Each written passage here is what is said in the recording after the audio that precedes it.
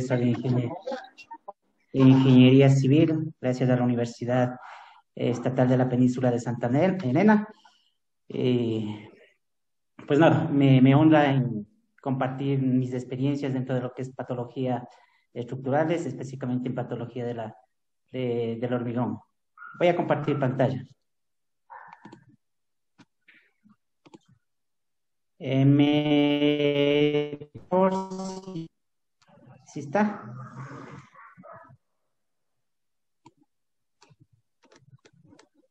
¿Sí lo alcanzan a ver? Sí, sí, adelante. Ya, un segundito. Ok. Ya. Muy bueno.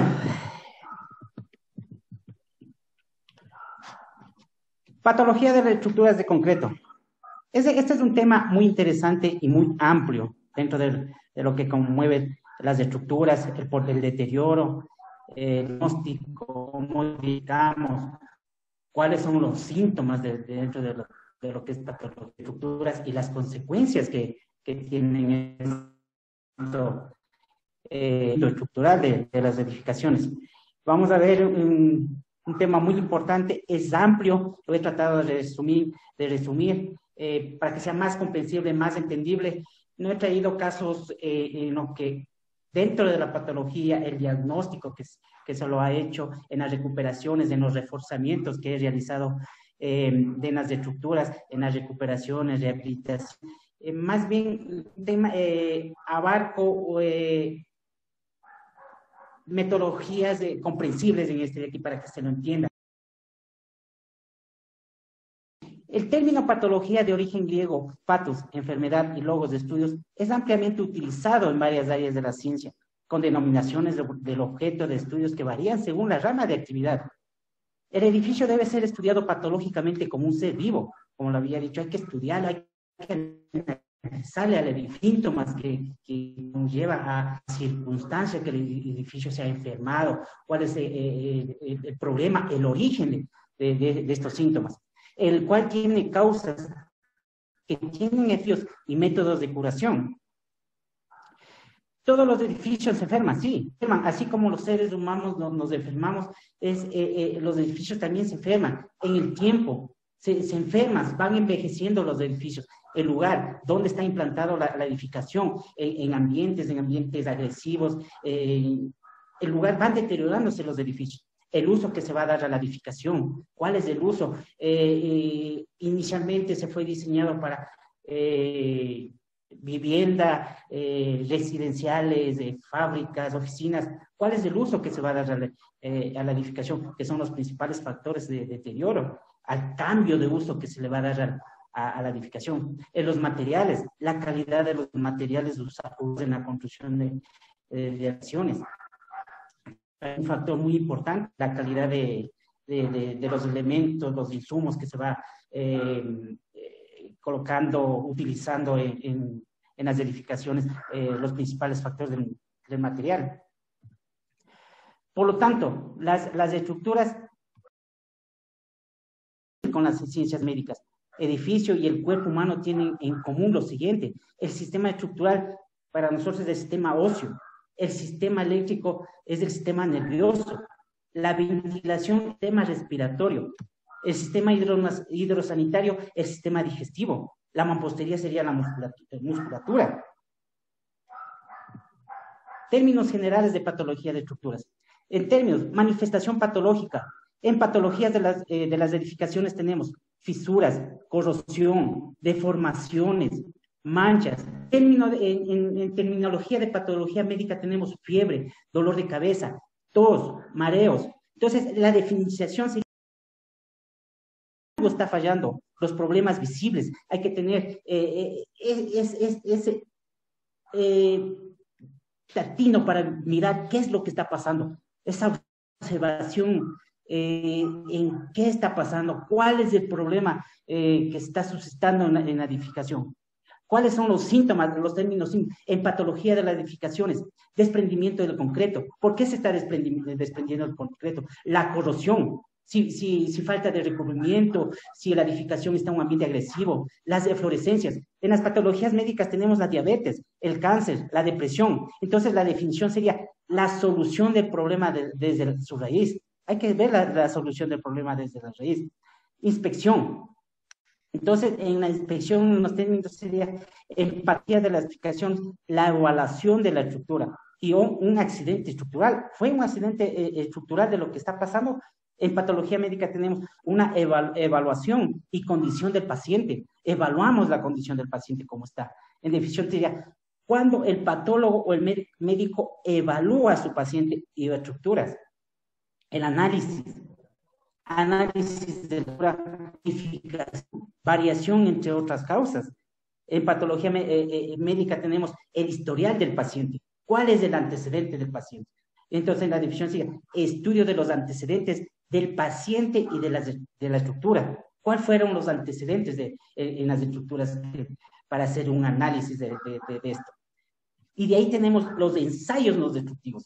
En patología de edificaciones tenemos en los ensayos no destructivos la pistola Windsor, la esclerometría, la velocidad de ultrasonido. En patología médica tenemos medición de presión, el pulso, fiebre, entonces, en definición sería ensayos del hormigón y exámenes, médicos del paciente. Ensayos destructivos. En edificaciones, extracción de testigos, extracción del acero, entre otros. En patología médica tenemos examen de sangre, heces, ácido úrico, biopsia. Son ensayos o exámenes que causan daño, pequeño daño al paciente y también pequeños daños a la patología en las edificaciones. Ahí, teníamos, ahí vamos a los diagnósticos. En la patología de edificaciones tenemos corrosión de las estructuras de, concreto. En patología médica tenemos el diagnóstico diabetes, cáncer, que ahora es el COVID-19. En, definición teníamos aclaración de los orígenes, mecanismo y síntomas que causa el fenómeno o problema patológico. Tenemos ya una profilaxis, mantener los recubrimientos mantener los recubrimientos correctos, ejecución adecuada de la obra. ¿sí? Profilaxis, hay que mantener los recubrimientos. ¿Sí?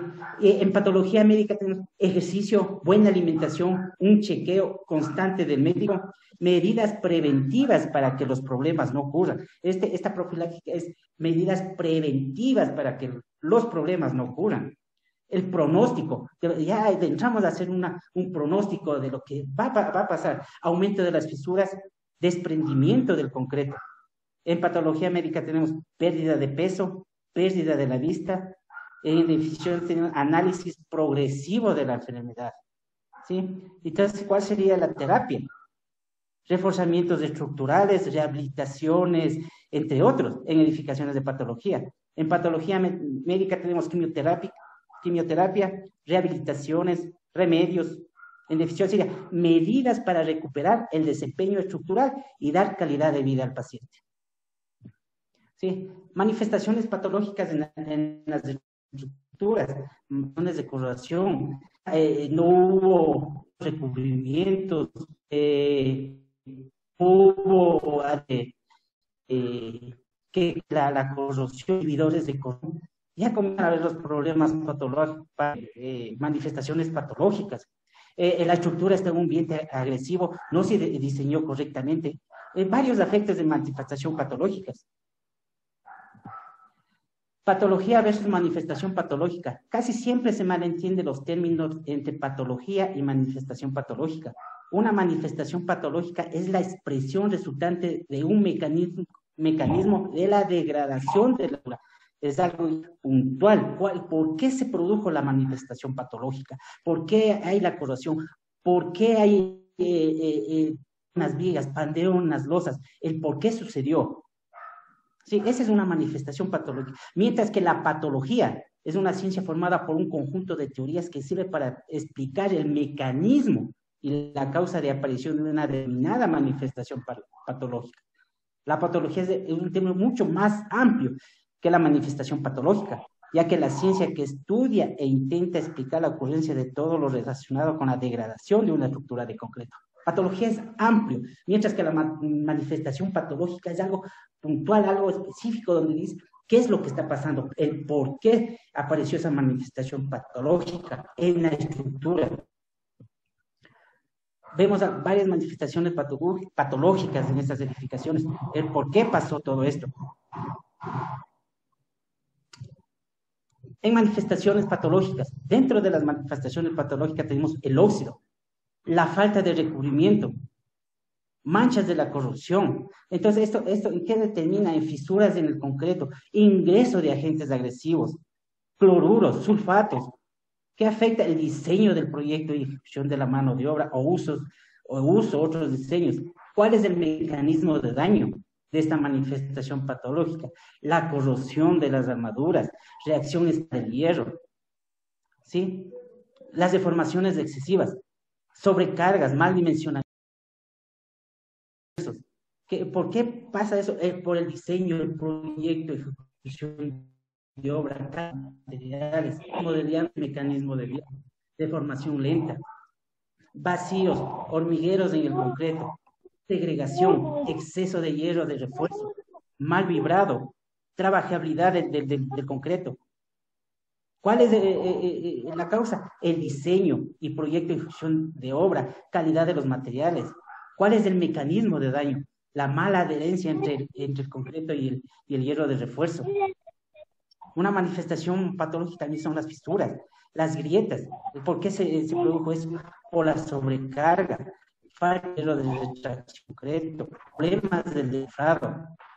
¿sí? El diseño y ejecución de obra eh, fue el causante. ¿Cuál es el mecanismo? ¿Cuáles son los mecanismos de daños? De deformaciones, ingreso de agentes agresivos, otra manifestación patológica tenemos despostillamiento del concreto, juntas de piso.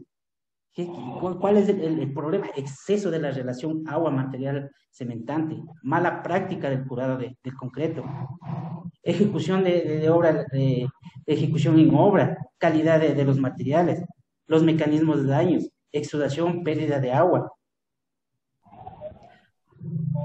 Entonces, profilaxis como ya lo habíamos dicho, la palabra profilaxis procede del griego que se traduce con la palabra prevención, prevenir lo que va a pasar, prevenir esto en la ejecución de la obra, buenos recubrimientos, buen vibrado, entre varios aspectos, pero hay que tratar de, prevenir para que no sucedan las, las manifestaciones patológicas. Esta palabra está formada por un prefijo pro que hace referencia al tiempo antes y la palabra que significa guardián.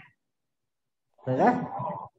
En las estructuras de concreto, las medidas preventivas implementadas antes de cualquier proceso o manifestación patológica surgan, como por ejemplo, como vemos, eh, buenos recubrimientos en el acero, la falta de recubrimientos que, no hay en las estructuras, falta de, de, de, recubrimiento, falta de, aplicar las normas, lo que dice las recubrimientos para cada tipo de, edificación, nos dice qué, qué, espesor debemos tener en la, eh, de recubrimiento, buenas juntas de dilatación, buenas instalaciones sanitarias, conexiones adecuadas, sellos, empaque entre otros componentes que eviten la fuga de agua y comience la unidad de las edificaciones buenas instalaciones eléctricas, empalme, conexión a tierra, calidad de los materiales, equipos eléctricos de calidad, entre otros componentes, buenos revestimiento, pintura de calidad, cerámicos durables y colocados con morteros de estas características, entre otros componentes limpieza en juntas, limpieza en sumidero, limpieza del entorno de la edificación, un mantenimiento integral en la edificación que, que, eh, que no, no, no, tenemos esa cultura de mantenimiento cuando una, una edificación se entrega y, y, se entregó y estamos ya pensando en otros proyectos y no hay un, un seguimiento de lo que está pasando con nuestras edificaciones que, que lo han entregado y están puestas, puestas a servicio. El mantenimiento juega un papel muy importante en en la buena, en la buena servicialidad de, de, la edificación. Por ejemplo, aquí eh, eh, se ve claramente las, la, cómo, cómo se pone elementos, elementos que, que dañan, que perjudican al elemento estructural. Estas, estas instalaciones eh, reducen el, la sección, falta de acero, falta de acero en, en los elementos estructurales.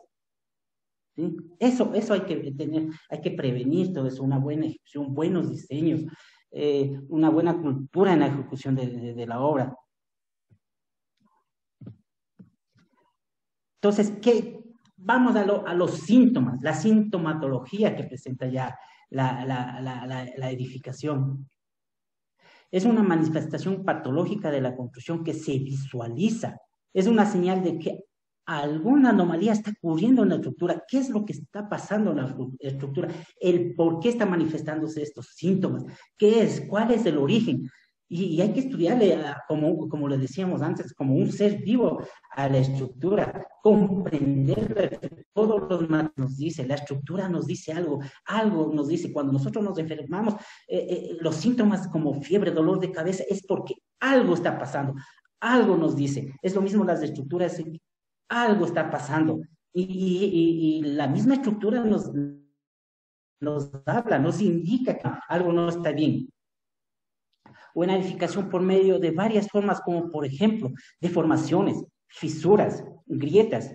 Los síntomas más comunes de mayor incidencia en el concreto son fisuras, eflorescencias, deformaciones, corrosión, corrosión que ya se manifiesta y con las fisuras, la corrosión tiene una gran fuerza de desprender al, concreto.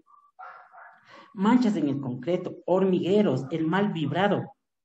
El mal vibrado que, generalmente ocurre por no, no, no tener una persona eh, con gran capacidad, un técnico para, para vibrar. Es unas causas común de los hormigueros que, que, aparecen.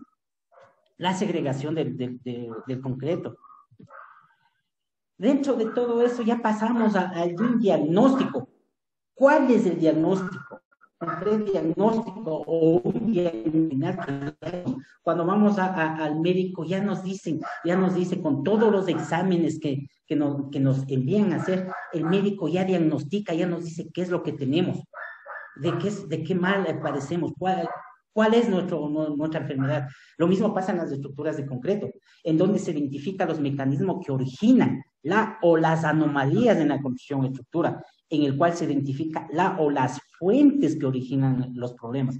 Es en realidad donde se establece una relación entre el resultado del análisis de todos los ensayos que nos, que realizamos para determinar el diagnóstico en que se encuentra la y las medidas que vamos a tomar para que ésta pueda seguir en servicio. Para un diagnóstico efectivo es necesario que se realicen ensayos. Ensayos no destructivos, ensayos destructivos. Entre, entre, estos teníamos esclerometría, eh, extracción de núcleos, recopilación suficiente, capaz de llevar al profesional a conclusiones seguras. Hay que emitir un diagnóstico seguro de lo que, de lo, de lo que vamos a, a, indicarle al cliente, cuál es el diagnóstico, qué medidas se va, se va a tomar para que la, la, estructura eh, siga en servicio. Un mal diagnóstico culminará con unas medidas correctivas inapropiadas, compromete la seguridad del edificio y representa un riesgo para los usuarios acompañado con una inversión económica altas. Un diagnóstico mal realizado Imagínense si el médico a nosotros nos, da un mal diagnóstico, nos da un mal, eh, un mal remedio, una pastilla mal, eh, una terapia mal, mal dicha y, pueda producirnos algo contraproducente para nuestra salud. Es lo mismo pasa con las estructuras. Si damos un, un mal diagnóstico, si la cimentación está fallando, nosotros eh, eh, eh, digamos que son solo asentamientos. No, hay que, hay que dar un, buen, un buen diagnóstico, el origen del problema y, y, enfrentar el problema, arreglar el problema, ¿verdad? Y en esto hay que una recolección de información para el diagnóstico acertado. Tenemos que tener mucha información. Mientras más información tengamos del edificio, es mejor y, acompañado con todos los ensayos que realicemos, diagnosticaremos acertadamente, eh, eh, eh, diagnosticamos acertadamente lo que está pasando en la, en edificación. La recolección de información preliminar de la edificación son edad y servicio de la construcción, materiales constitutivos de la obra, qué materiales fueron utilizados, códigos y normas utilizados en el diseño estructural, de la, actuales, de anteriores, qué, con qué normas se, construyeron, resistencias y características del concreto, firmado de las manifestaciones, cuándo comenzó esas manifestaciones, eh, cómo se produjo, cuándo se produjeron estas, estas manifestaciones, la configuración estructural de la edificación, si hubo cambio en el uso de la edificación o no hubo, un aumento de cargas, eh, arreglos, si hubo anteriormente arreglos, remodelaciones, qué tipo de mantenimiento se hicieron en, esta, en, este, en la edificación. Del medio ambiente se tiene eh, mucha información, eh, si está ubicado en una zona industrial, marina, urbana, rural, la humedad relativa, la temperatura, la calidad de agua. Entonces, toda esta información nos va a ayudar eh, en mucho para emitir un buen diagnóstico acertado. En un mapa tenemos de todo lo que se hizo, un resumen de todo lo que, lo que, lo que se ha dicho. Las, las enfermedades, si fueron contraídos, si fue dentro de la concepción del diseño, de las malas prácticas constructivas, si esa enfermedad aparecieron dentro de este, de este campo, cuáles fueron los efectos de todo esto, grietas, fisuras, mancha, pérdida de, resistencia, deformaciones, que es una investigación profunda y detallada y emitimos un diagnóstico, tipo y cantidad y, la gravedad del diagnóstico. Y, y vámonos al pronóstico. Puede ser pesimista o puede ser optimista. Dentro del pesimista podemos eh, eh, eh, diagnosticar un derrocamiento total, o un derrocamiento parcial o una eh, amputación. Y ahí pasamos a una ingeniería forense.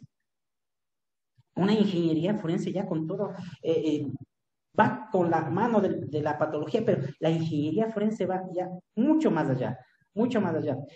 un caso de un centro comercial acá en, en, la capital, donde me tocó hacer una ingeniería forense, una edificación nueva, donde las losas se pandearon antes de entrar a la serviciabilidad de, la edificación y un centro comercial, fue diagnosticar un derrocamiento casi total, porque las secciones se habían reducido, eh, las vigas peraltadas se habían reducido, la losa que eh, inicialmente estaba diseñado en un espesor lo cambiaron, lo cambiaron, todo lo cambiaron eh, en el proceso de construcción. Y es grave, es, bien grave el, cambio de, los diseños. Es bien grave eh, la situación cuando se cambian los diseños, cuando se las, las secciones. Y dentro de, los pronósticos optimistas tenemos intervenciones, preservar, restaurar, reparar, rehabilitar y reforzar. ¿Sí? Es un pronóstico optimista eh, en, en, las estructuras. Eh, en reforzar. Eh, he tenido casos de, reforzar muros, edificaciones patrimoniales, que por la inexperiencia de la construcción de al lado que iban a construir, meten máquinas y dañan a, una construcción patrimonial, me, me, ha tocado intervenir. Y hay que utilizar los materiales de la época, muchos ensayos, muchos laboratorios para dar compatibilidad de los mismos matrimonial. Recolección para un diagnóstico acertado, lo habíamos dicho, una inspección visual.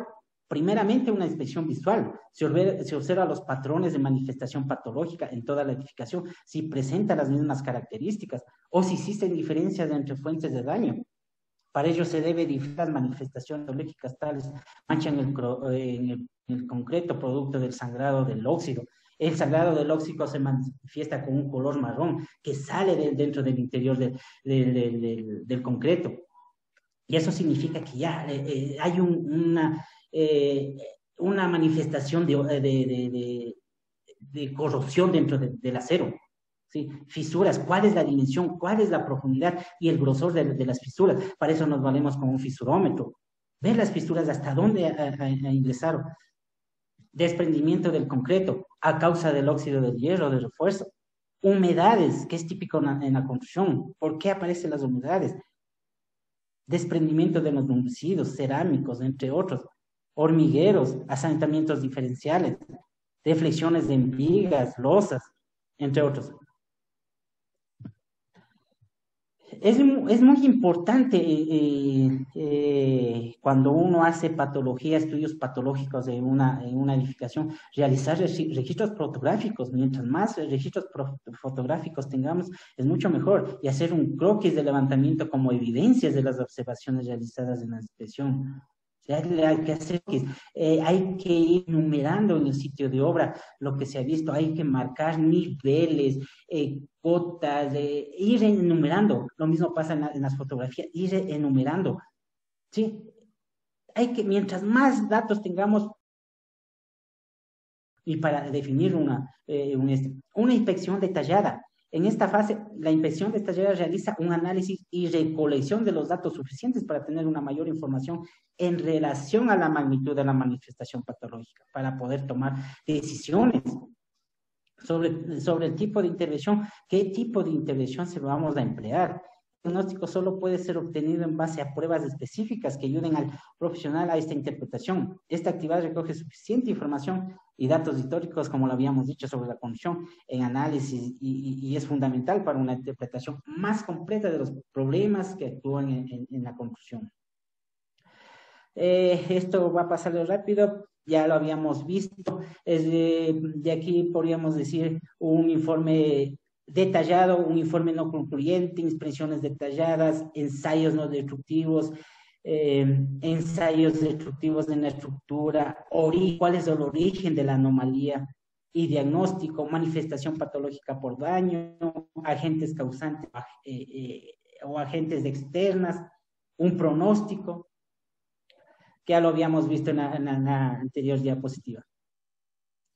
La fase final de una inspección consiste en la recopilación de información en la inspección incluso del edificio o la magnitud de las manifestaciones patológicas. Si ustedes observan acá en, las fotografías, este fue una edificación de un eje, de una columna que se estaba eh, eh, produciendo un asentamiento y acarreaba a, las a los demás ejes, eh, a tener problemas.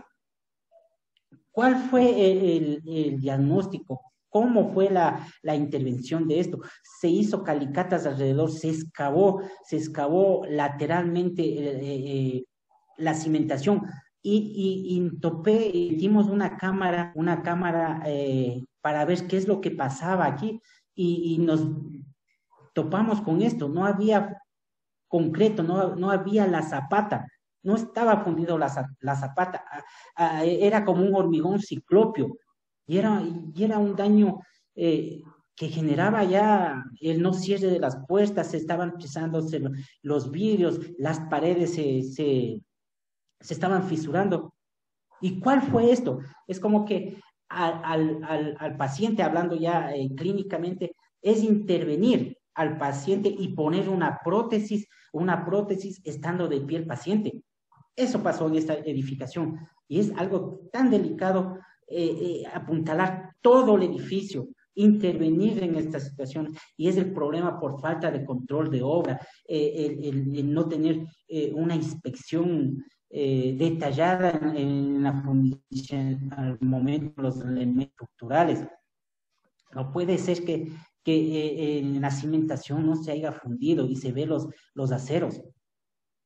Y, eso, y, es una eh, edificación que, que era de, cinco niveles y se inyectó, se amplió la, la, la, cimentación y los resultados fueron excelentes. Pero eso determina, ¿qué determinamos con eso? El por qué. No solamente decir, se hace asentamientos diferenciales, aparecieron unas fisuras eh, por asentamientos diferenciales. No, el problema fue mucho más grave y buscar el problema, buscar dónde está el inicio del problema. Y optamos que la, la cimentación no, no hubo, la zapata no estuvo ejecutada correctamente como los diseños indicaron. Y, y, fue el diagnóstico poner una prótesis, pero con la edificación ahí parada. Si las manifestaciones patológicas sean graves que impliquen un potencial colapso de la estructura o que no den garantías de ocupación al usuario, se recomienda aislamiento, aislamiento temporal de todas las edificaciones hasta que realicen un análisis más consistente. En este caso no, no desocupamos a, la, a, los usuarios porque estábamos trabajando.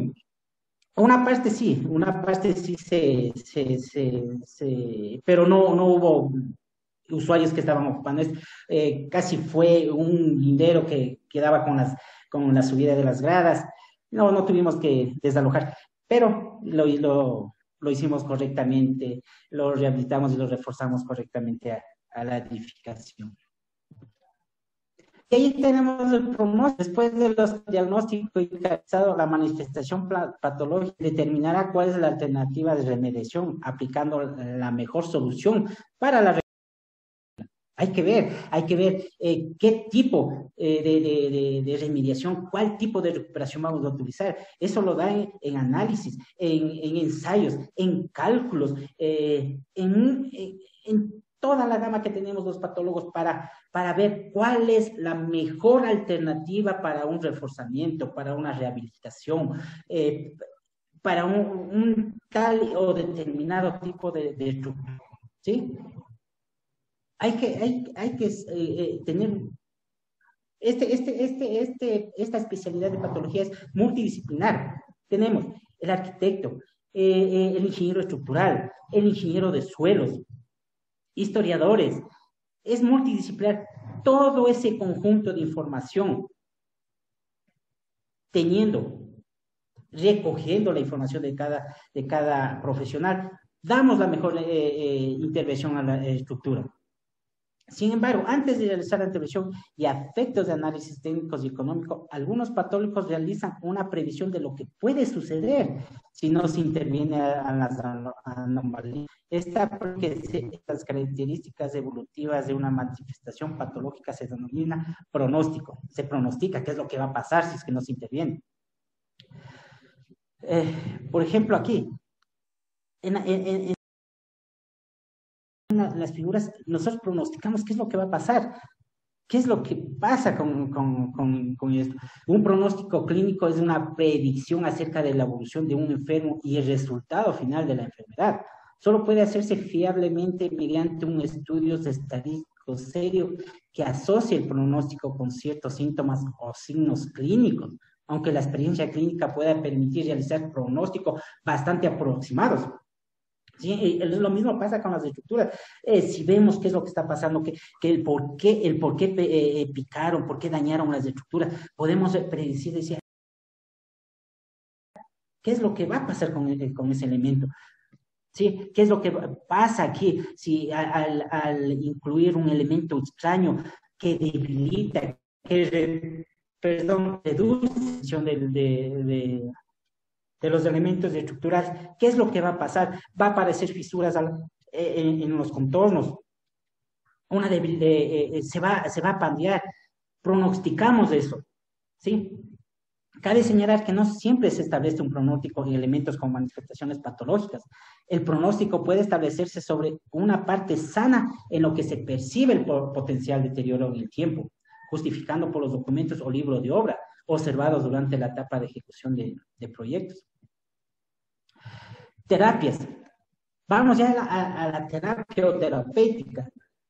La terapia, por su parte, es como un tratamiento de la enfermedad, principalmente por medios físicos, y se refiere más a la acción, a los procedimientos, al hecho práctico del tratamiento. Las medidas terapéuticas para las correcciones de las manifestaciones patológicas pueden incluir pequeñas reparaciones localizadas como una recuperación generalizada de la estructura o refuerzos de la cimentación, columnas, vigas dolosas. Este, este caso que me tocó resolver en, en un hospital por torsión en planta y las derivas de piso que estaban muy altas dentro de las normas de la NEC, eh, se logró con varios estudios la estación también que estaba superficial, no estuvo de acuerdo a, a, los planos, se utilizó muros de corte. Acabamos de ver en, en, en anterior exposición que también utilizaron muros, eh, muros de corte, pero ya con otros, con otros métodos. Aquí se hizo un modelo, un modelo eh, computacional, elementos finitos. Eh, esta obra estaba abandonada dos, dos o tres años, ocho años estuvo abandonado, calculado con la, con la norma anterior. Aplicamos la norma actual con la NEG y nos arrojó que las dérivas de piso estaban muy altos sobre los 2% permitido en nuestra norma, la NEG estuvo entre el 3, 4% de las dérivas de piso y con los muros de cortes puestos, colocados en algunos puntos específicos, la deriva de piso eh, bajó a 1, 1.1 y teníamos que hacer muros de corte con todo obtenido, todos los ensayos obtenidos, eh, ensayos de extracción de núcleos, eh, ensayos no destructivos, todo eso, y determinamos eh, los muros estructurales. ¿Sí? Es una terapia ya de lo que de, de, todo lo proceso, de todo lo que se había dicho, ya para ya en la ejecución, cuál fue la terapia, qué es la terapia, la terapéutica aceptada para, para esta edificación. No todas las terapias van a servir para una edificación. Cada edificio, cada casa, cada infraestructura tiene su propio comportamiento, su propia terapia, su, eh, eh, los síntomas son distintos. Puede ser, puede ser que sea común uno el mismo, los mismos síntomas, los mismos problemas eh, con, otra edificación, pero, pero cada uno es, es distinto a otro. Cada uno, las manifestaciones, los problemas, es diferente al otro. Puede ser que en el diagnóstico sea lo mismo, similar al otro edificio eh, en, las terapéuticas, pero cada edificio hay que estudiarlo. Cada, eh, eh, cada infraestructura hay que saberle entender qué nos dice la estructura, qué es lo que está pasando con la, con la estructura. por ejemplo, un, un, caso especial, una humedad que no podía corregirse. Hubo el cliente no confiaba eh, eh, en los profesionales, llamaba un maestro, un maestro, un maestro en otro por una, eh, una humedad que aparecía constantemente en contención y no se sabía. Pero el problema está, puede ser puntual o puede ser extraño a la, al este. En este caso es, es una alcantarilla a dos o tres casas de lo que estaba. Hay que saber el dónde está la falla. ¿sí? Primero, eh, eh, el arreglo no era eh, las tuberías que estaba puntual, sino exteriormente, el problema llegaba externamente a, a, la casa. Y hay que saber, hay que, hay que, hay que ver, hay que, hay que saber monitorear el entorno de la edificación para saber qué es lo que está pasando. La terapia en la ingeniería civil se ocupa de las correcciones de problemas patológicos con el objetivo de tener el proceso y devolver el rendimiento y la seguridad al edificio. Las terapias solo, solo se puede planificar bien si el diagnóstico se realiza correctamente, ya que la implementación acertada de una medida correctiva vinculado al mecanismo del incidente. ¿verdad? Las diferentes terapias a utilizar en la edificación está condicionado por varios factores, como la apariencia, la seguridad estructural, la funcionabilidad, la ejecución para la intervención del problema, el costo, la mano de obra calificada para la intervención. Los, los, diferentes tipos de intervención y o terapia en una condición con manifestaciones patológicas son los siguientes. Rehabilitación, recuperación, reparar, reforzamiento, remodelación, una reconstrucción, una restauración. Este es el caso que les había comentado de que el muro, toda la sección del muro de una casa patrimonial, tuvo ya sus problemas, ya, ya eh, se desplomó, como quien dice, se desplomó siete centímetros y tuvo, tuvo, tuve que hacer, eh, cambié el, el, sistema estructural, cambié el diseño porque se iba a construir una, una torre de ocho pisos ahí se cambió el diseño de las columnas perimetrales. Se hizo más, más secciones grandes. Se, eh, en la casa, eh, eh, en el casa patrimonial, se tuvo que implantar el mismo material. Si ustedes observan, fueron el mismo material los mismos componentes, estaba con cal, pegado con cal. Se mandó al laboratorio para estudiar la, eh, la dosificación de esto y recuperar esta. Aquí se inyectó un, eh, se puso unos traves, unos traves de, la época que había y se puso y se colocó y se amarró. Y ustedes ven aquí ya como que, eh, se iba colocando las columnas en, esto para detener el colapso de la, de la pared. Sí, son esas cositas que, que hay que saber, que hay que saber ¿Por qué se originaron esto? Esto, se produjo a causa de, un cambiamiento antitécnico. No se podía derrocar eh, una casa existente sin tener eh, eh, precaución, qué es lo que va a pasar a las construcciones aledañas. Si se, si se derroca manualmente en cierta de, parcialmente, máquina parcialmente, pero no, aquí se decidieron destruir toda máquina y, las consecuencias que, pasó en esto. Entramos ahora sí lo que es patología ya de estructuras, netamente dicho, ya patología en estructuras. Sí. los edificios de concreto que son la construcción aumentan el mayor durante sismos debido al control de calidad de materiales, al incumplimiento de las normas de construcción. Tenemos varias normas, NEGE, ACI, ACTM, entre otras normas. En la actualidad, los errores de diseño, de construcción, de uso de las edificaciones siguen siendo prácticamente los mismos de hace décadas atrás. Las fallas catastróficas de modernos edificios de concreto causado por el colapso de sus estructuras han sido documentados recientemente en los sismos de México en el 85, en el 2017, en Ecuador del 2016, en Managua, Nicaragua, Turquía, Taiwán, Armenia, India, Kobe, Japón en Chile, Popayán, en Colombia, han sido documentadas todas estas fallas catastróficas. Si voy un poquito más atrás, eh, si estoy eh, eh, correcto en las fechas, el 4 de octubre de 1998, ojalá acierte en, la fecha del 98, el sismo de Bahía. El sismo de Bahía hubo muchas fallas, hubo, hubo documentación, se documentaron cuáles fueron las fallas de, eh, en las estructuras que cuáles fueron los temas que, que se dieron. Y lo mismo de 1998 en el sismo de Bahía pasó en el 2016, los mismos patrones de falla que lo vamos a ver. Eh, nuestra la ingeniería, nuestra ingeniería por, ha crecido, los avances tecnológicos cada vez son mayores tenemos mucho, desarrollo, innovación en la construcción, pero seguimos haciendo con los mismos, los mismos errores en, en, las edificaciones. Lo, a ver. En las rigideces. La rigidez es un concepto relacionado con la fuerza necesaria para lograr una deformación, que puede ser diferente forma dependiendo del movimiento. La rigidez de una edificación depende del tamaño de los elementos de soporte, como columnas, vigas, depende de la elasticidad del material. Asimismo, depende de qué tipo de movimiento se va a presentar sobre cada elemento. La forma del elemento está dado mediante la longitud del mismo L, así su base B y su altura. Y también de, módulo de elasticidad. Respecto a la esbeltez en altura, es recomendable que la relación alto, altura, ancho o cuatro, mientras más esbelto sea la edificación, más va a tener.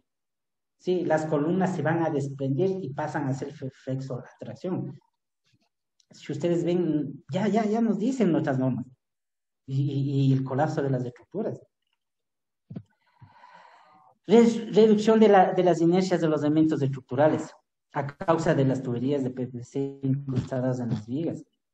Seguimos haciendo esto, eh, eh, ejecutando con estos mismos errores garrafales, ¿De qué nos sirvió los diseños?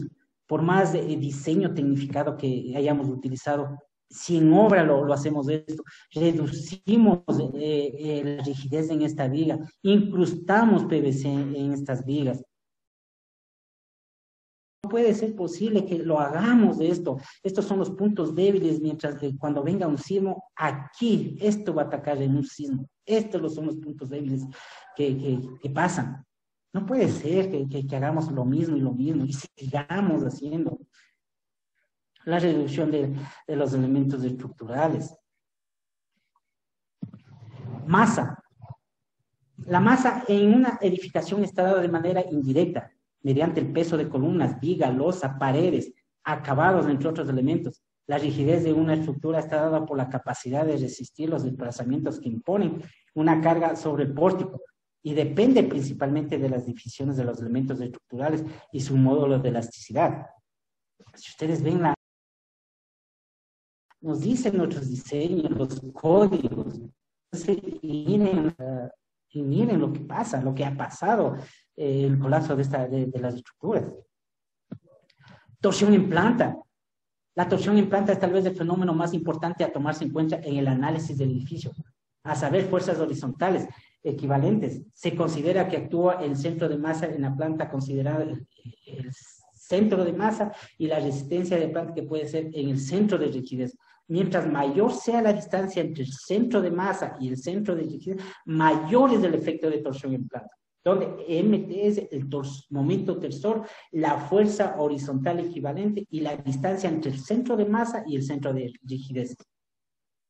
Como lo vemos, en una estructura simétrica, el centro de masa y el centro de rigidez están ahí y no tenemos problema de torsión en planta. Mientras, si el centro de masa y el centro de rigidez están, están distantes tenemos ya, hemos ya problema de torsión en, planta.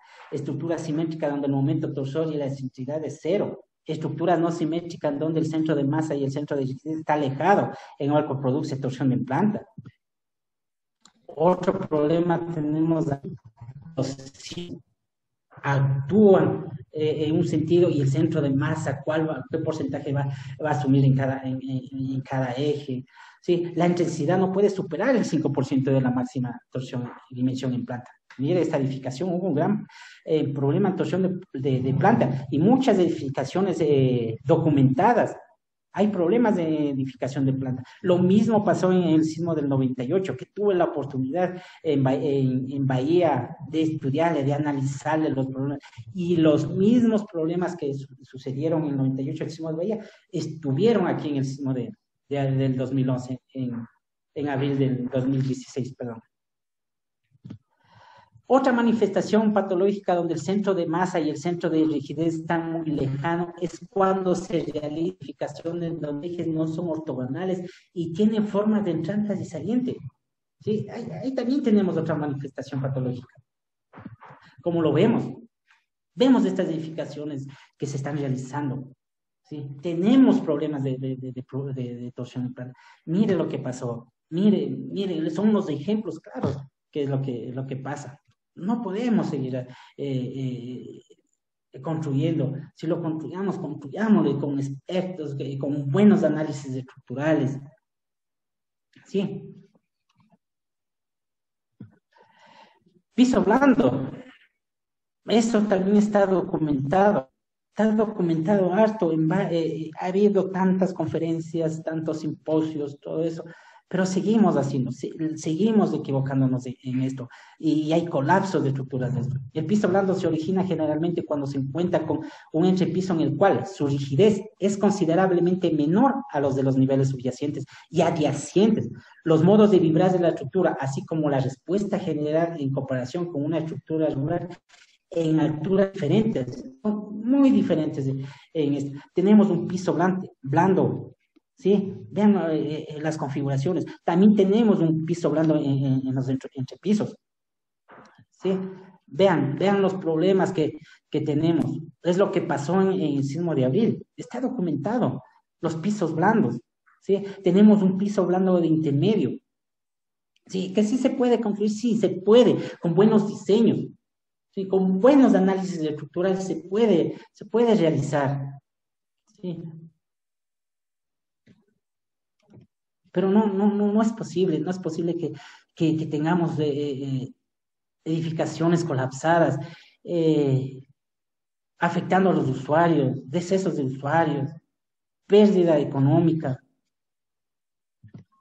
configuración estructural. Es otro gran problema se define también como el conjunto de tres elementos, el tamaño y la forma, la naturaleza, el tamaño y ubicación de, los, de todos los elementos estructurales, el la naturaleza, el tamaño, la ubicación de los elementos no estructurales, La configuración, sencillez y alineación del sistema de resistencia a sismos de una es tan importante o acaso más que las fuerzas laterales de diseño. Si en principio se obtiene una configuración deficiente, todo lo que puede hacer eh, un ingeniero es poner un parche.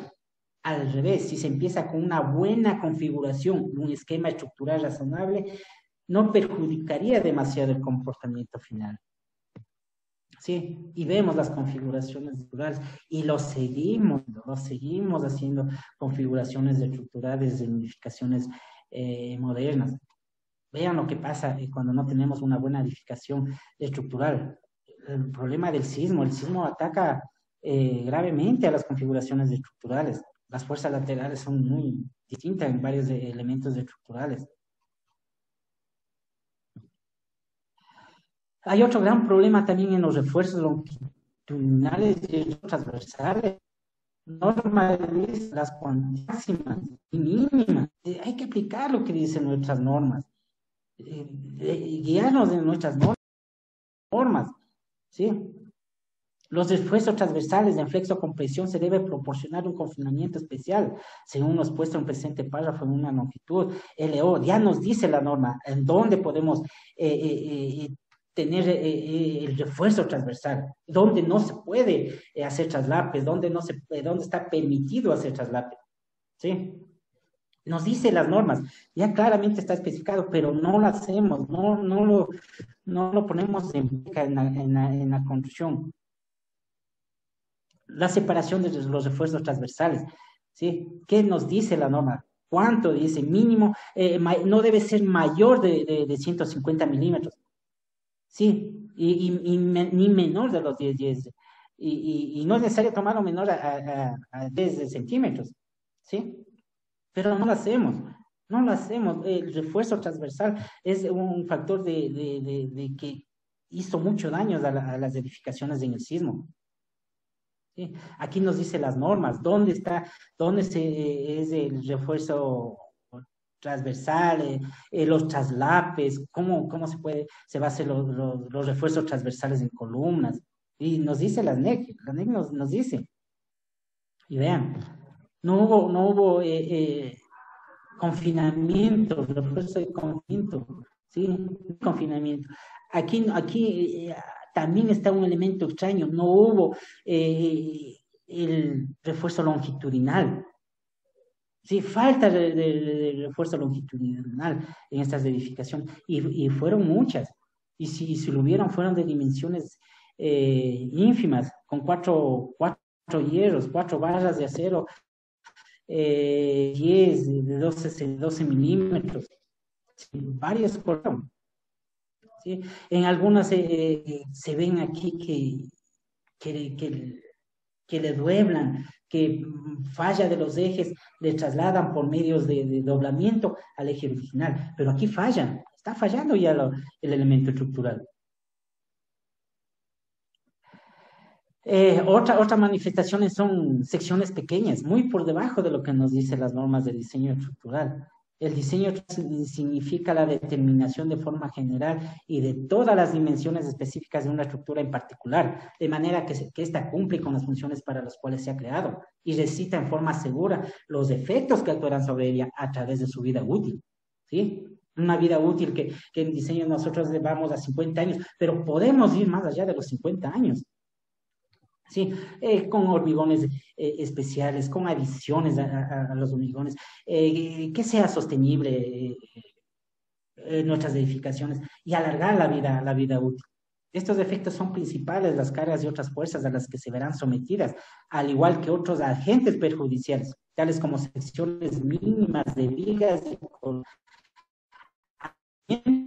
los principales interés en comienzo de una estructura. Miren, una, una viga grande, una sección grande de viga con una columna pequeñita.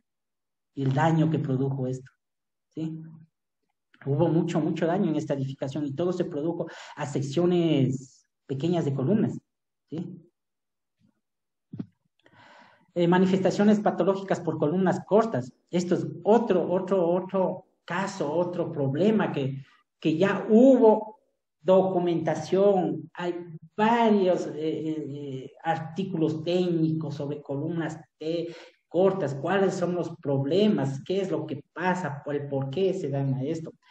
Las disposiciones arquitectónicas de muros bajos a cada lado de las columnas impiden que éstas se durante un de fuerzas horizontales, disminuir la longitud efectiva de la columna. Los cortantes que acompañan los momentos flectores en cada extremo de elementos se amplifiquen, haciendo pasar de modo de falla prevaleciente de flexión a uno de corte. Es frágil.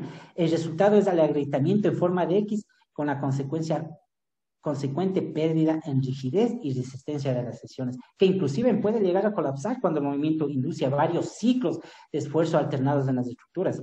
Estas prácticas constructivas son muy frecuentes en construcciones hospitalarias, en construcciones escolares, donde se requieren ventilación e iluminación especial.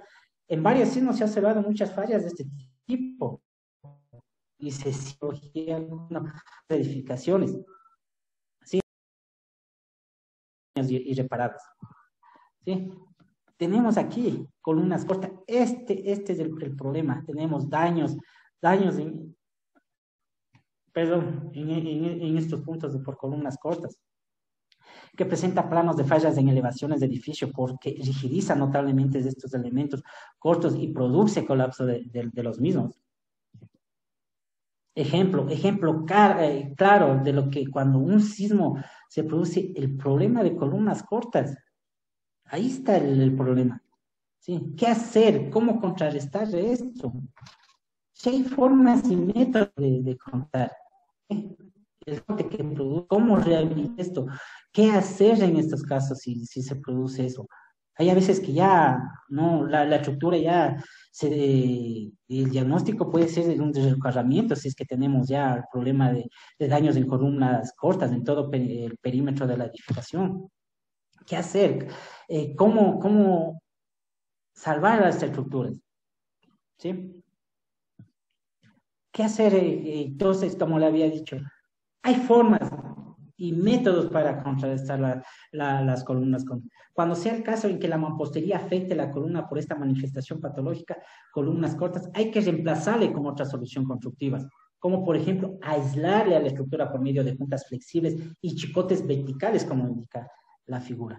Pone eh, chicotes, chicotes es una varilla que, que, ayuda a la mampostería, en vez de incrustarle a la, a la columna, lo ponemos en la losa ¿sí? Y, junto aquí tenemos una junta flexible, ¿sí? Sí, ¿verdad?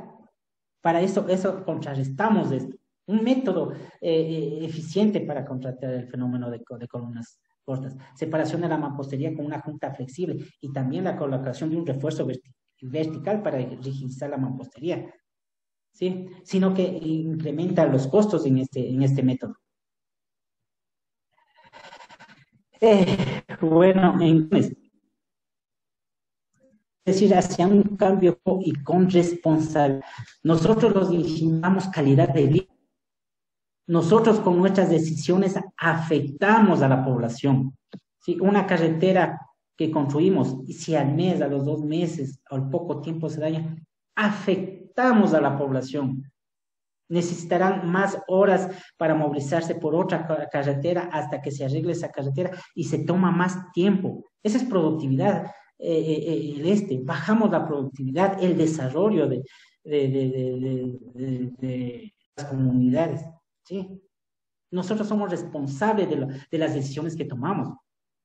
Una casa mal construida afectamos a los usuarios podemos en riesgo a varios, a varios, a, varias familias que, que, viven ahí en el departamento, en casas, ¿sí? Alguien decía que eh, un, bisturí no necesariamente podemos operar teniendo a la mano un bisturí, ¿sí? Si el médico mata a uno, nosotros matamos a, a varios.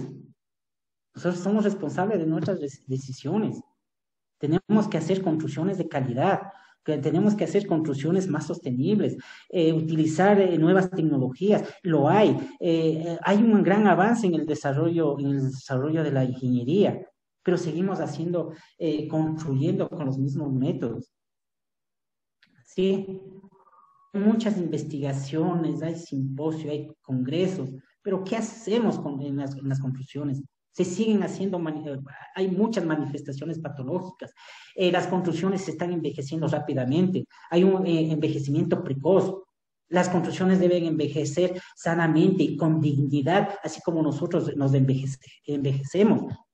Sí, nosotros nos envejecemos sanamente, vamos pasando un tiempo, pero sanamente envejecemos. Lo mismo debe ser con las edificaciones. Envejecer sanamente hasta acabar su vida, vida, vida útil, tener un buen mantenimiento, constante un buen mantenimiento. ¿sí? Así como un médico debe analizar los síntomas, realizar exámenes, hacer un diagnóstico, prescribir un tratamiento específico. En el caso de las estructuras de construcciones, es necesario que el técnico responsable identifique posibles problemas y daños instalados, analice, analice críticamente su repercusión en el desempeño de la estructura, definir sus causas y orígenes y determinar las medidas correctivas y adecuadas a cada problema. Cada estructura es un paciente único, como lo había dicho. Cada estructura es único, su, su, eh, su patrón de, de, de, de, problemas, su patrón de, anomalías, sus síntomas es distinto. Así esté la edificación eh, a pocos metros, va a ser distinto, su comportamiento es distinto, bien distinto. ¿sí? Eh, todas las etapas de este proceso se presentan en patología estructural, que aborda los conceptos básicos de patología de las construcciones, discutiendo los mecanismos de deterioro, el diagnóstico, cuál va a ser la, la, intervención aplicados a las estructuras de hormigón, a las estructuras de acero, a las estructuras de madera como lo había dicho, este, este, esta, esta, esta especialidad es una especialidad multidisciplinar. Intervienen varios profesionales, muchos profesionales. En, el caso de, de, construcciones patrimoniales, intervienen historiadores, antropólogos, intervienen mucha gente para determinar con exactitud el diagnóstico y la terapia exacta para para la recuperación de, de, de cada de, estas estructuras. Pues no me queda más que, que decir, y, y, no vayamos tan lejos. El por qué eh, colapsó el edificio de, Miami. Hay muchas hipótesis. El por qué, estando bien, se colapsa. Debió haber habido ya algún estudio, eh, falta de, de, recubrimiento, corrosión porque la estructura estaba en un ambiente agresivo. Debió haber, debió haber, pero varias hipótesis que se tardarán, tardarán en, decir qué es lo que pasó, por, por qué el colapso, y, ingresan en una ingeniería forense. ¿sí? Nosotros somos los que damos calidad de vida, calidad de vida, como siempre lo digo, calidad de vida a la población. Nosotros somos responsables ante las decisiones que tomamos. Y no me queda más que el edificio se va a comportar como nosotros lo construimos, mas no como lo diseñamos.